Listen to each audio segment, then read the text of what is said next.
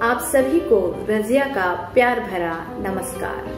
साथियों, आज आपके लिए प्रस्तुत करूँगी कवि संतोष श्रेयांसी की काव्य संग्रह शुक्रगुजार हूँ दिल्ली से एक कविता परजीवी।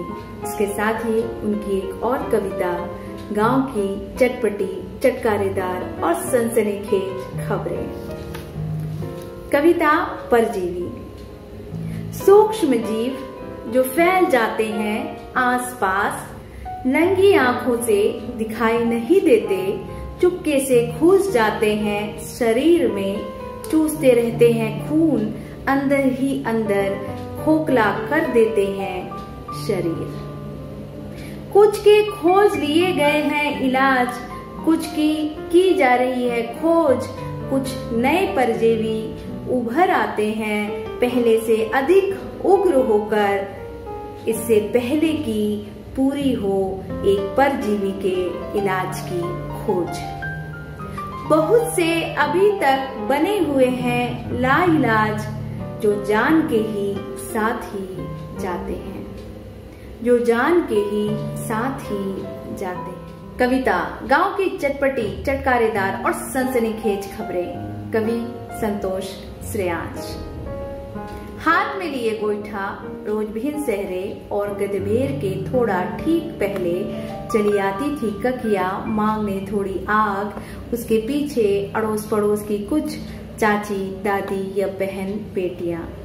माँ तब तक जोड़ चुकी होती थी चूल्हा, उससे उठता धुआँ, इसकी दे देता था सूचना, और जब तक पूरी तरह से सुलगता चूल्हा, तैयार होता आग आँगन के कोने में इन औरतों का लग जाता चौपाल। इनके खबरों के पिटारे में होती तरह तरह की चटपटी, चटकारेदार, सनसनीखेज खबरें, जिसे बारी बारी सब अपने पिटारे से निकालती रहती। इन खबरों में विशेष रूप से शामिल रहती इस लगन गाँव में आई नई बहुरियों का मिजाज और पहली बार बनी सासों का अंदाज।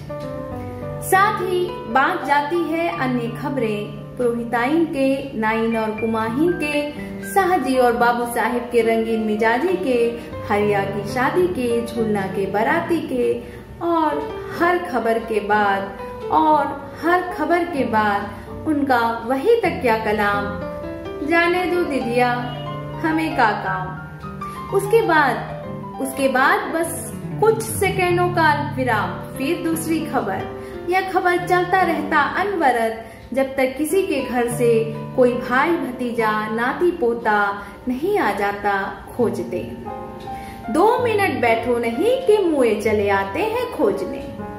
इस प्यारे से उल्हाने के साथ समाप्त हो जाती सुबह की चौपाल।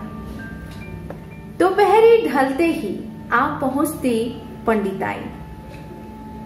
दोपहरी ढलते ही आप पहुँचती पंडिताइन।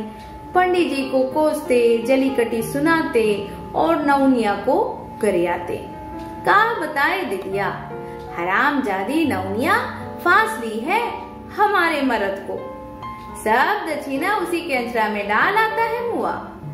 कभी सुबकती, कभी गमगीन हो, अपने भाग्य को कोसती, कभी रोज से भर उठती।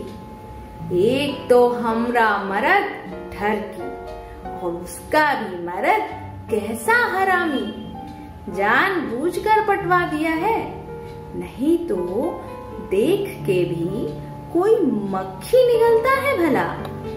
जाने दो दीदिया, हमें क्या करना? ढिटाई तो देखो दीदिया, रोज चली आती है, चढ़ते दोपहरिया। रोज चली आती है चढ़ते दोपहरिया। सारे गाँव के बेटी बहुरियों की सुनाती है करस्तानी। पर मुई अपने नियत की खबर ही नहीं लगने देती। बहुत छहितर है। इशारों में बोलो, भी तो सटने नहीं देती।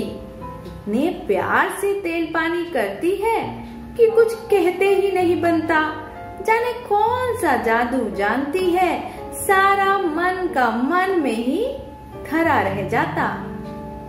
शाम होते ही फिर लगने लगता जमघट, शुरू हो जाती हँसी मज़ाक छोटे सच्चे बातों का सिलसिला तरह तरह के किस्से तरह तरह का स्वांग, अनवरत इस तरह बहलता रहता, दिल बदलता रहता, दिन और इस तरह माँ का होता रहता मनोरंजन इन चटपटी खबरों से, घर से कहीं नहीं जाने के बावजूद।